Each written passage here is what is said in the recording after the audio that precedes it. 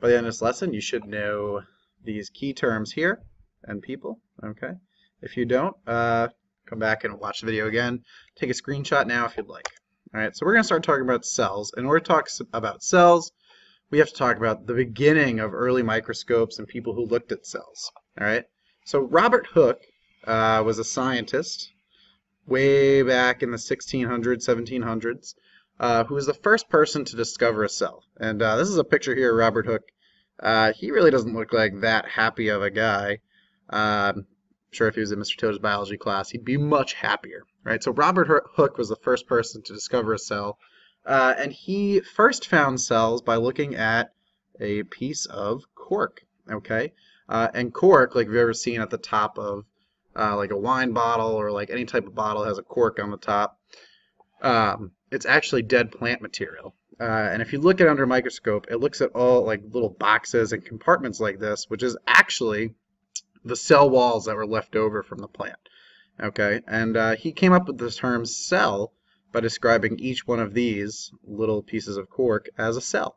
Uh, and that name stuck throughout the next couple hundred years as people started to look at cells. Okay. Um, so after Robert Hooke first discovered cells, microscopes and technology started to advance throughout the 1700s, 1800s. And we have this guy called Anton von Leeuwenhoek, uh, who's a German scientist, who discovered organisms found inside of people's mouths. So he took little swabs, put it inside people's mouths, looked under a microscope, and he drew what he saw.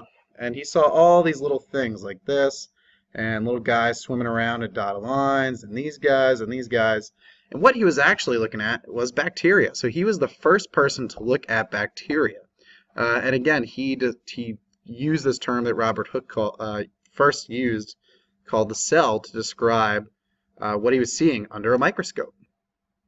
So after hundreds of years of research and people starting to look through microscopes at living organisms and studying cells, right, we started, uh, all these scientists started to discover new things about cells, and they created what is called the cell theory, which is a fundamental concept of biology. All right, all biology really, as you break it down, all different types of life, is based around the cell theory. And the cell theory states three things. The first is that all living things are made up of cells, right? And this is one of the characteristics of life we talked about in the beginning of the year. Okay, uh, all living things, whether it's one tiny, tiny little bacteria up to a giant blue whale, right? They're all made up of cells. Cells are the units that make them up. The second thing the cell theory states is that cells are the basic units of structure and function in living things, right?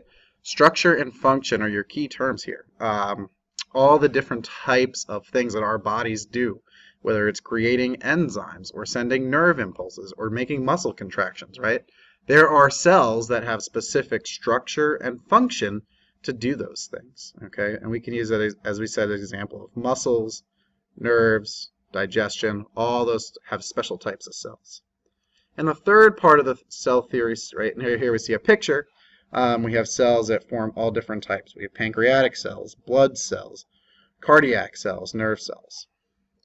Finally, the third aspect of the cell theory is that new cells are produced from already existing cells, right? I can't take a bunch of lipids and some enzymes and throw them together and create a new cell, right? A cell has to be made from a pre-existing one. Um, and we do this through a process called mitosis, right? Cell division. We have one cell here, uh, which is eventually going to replicate, goes through the process, metaphase, anaphase, telophase, and interphase, right? Where we now have two separate cells. All right, so this is the cell theory these three things. Uh, and this really governs biology because, like we said, the first thing First aspect of cell theory, all living things are made up of cells. So whether you're studying life on a huge basis or on a molecular basis, it all applies to the cell theory. Um, and in order to talk about the cell theory, we need to learn how to use a microscope. Right now, hopefully we've all seen a microscope before. Remember, we maybe we've never played with one. Um, but this is what's called a light compound microscope. Okay, this is the microscope that you'll usually see in a lab and we'll get to use. Okay, and in order to look at things, it uses light. Okay. Um, when we look at cells under a light microscope, we need to use what's called a cell stain. All right. If we were to look at cells normally, um, whether it's bacteria uh, or just cells from your body, right? normally they really won't have much color, be kind of transparent. And in order to make it easier, right, we need to stain them. If you've ever heard, gotten a stain on your shirt, right, after you're eating sloppily in the calf, you notice it sticks that different color, okay? Uh, and we can do cell staining, right? So these are nerve cells right here, and they don't naturally look blue and pink, right, down here. What we did was we stained them with different dyes to make it easier to see. So we could do that with different colors. This is also what's called fluorescent staining over here where we can stain bacteria uh, with a special dye that makes it glow in the dark, which is pretty cool. All right, so in order to use a light microscope, not all the time, but it makes it much easier if we stain cells in order to see them. Okay, we also have a different type of microscope called electron microscopes. And electron microscopes are different than light microscopes because they don't use actual visible light. They use actual electrons, right? So if we remember about we talked about the atom, right? The tiny, tiny, tiny little negative particles that fly around. An electron microscope works by actually shooting electrons uh, at the images that we're going to be looking at.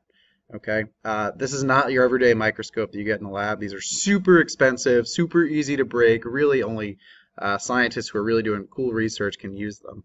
Okay, and we have two types of electron microscopes. The first one is a transmission electron microscope. And the way this works is you take a little cell or a protein or something like that that you want to look at that's tiny, tiny, tiny. You can't see it under a light microscope because it's too small. And you shoot these electrons under there uh, and you get an image, right? So transmission produ produces two-dimensional, right, or 2D images that are kind of flat, okay? But still you can look at things and you can see different proteins, different chemical structures.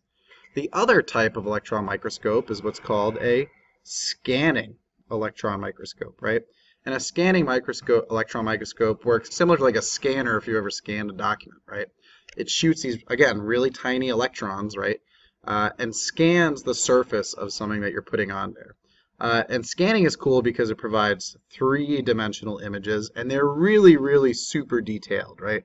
We could see all the little details of all these little bacteria, uh, whatever these guys here that they scanned, right? So scanning is 3D, super detailed, transmission gives us a two-dimensional but looks deeper into something. Cool. Finally, to end up talking about cells, we need to talk about the two types of cells, right? So the two major types of cells are eukaryotes and prokaryotes. And hopefully we've all talked about this before, right? A eukaryote is a cell that has a nucleus, okay? And a prokaryote does not have a nucleus, right? Best way to remember this, euc has a nuke. Pro means no. Okay. Uh, and in so the nucleus, right, is actually the center of a cell. It has its own membrane that contains the DNA. All right. And like we said before when we talked about characteristics of life, DNA are like the roadmaps to create life, right? They have all the information for making proteins and enzymes and chemicals and structures that allow you to survive. All right, so in the eukaryotes, right, they're usually a little bit bigger they have a nucleus, so if you see a big ball here with a membrane in the middle, um, that's the nucleus that has the DNA. Okay, we usually we have two types of eukaryotic cells, animals cells and plant cells, and we can also have other things like protists that are eukaryotes. Okay, the prokaryotes, right, usually, like we said, they do not have a nucleus, and that's usually things like bacteria, right? We see this little guy. If we notice, though, the eukaryotes are also much more complex. They have a lot of organelles in their cytoplasm. For the bacteria, the prokaryotes, really pretty simple. Okay, um, that's it for today. So go back, review your terms, uh, make sure you know them, and be ready for the quiz tomorrow.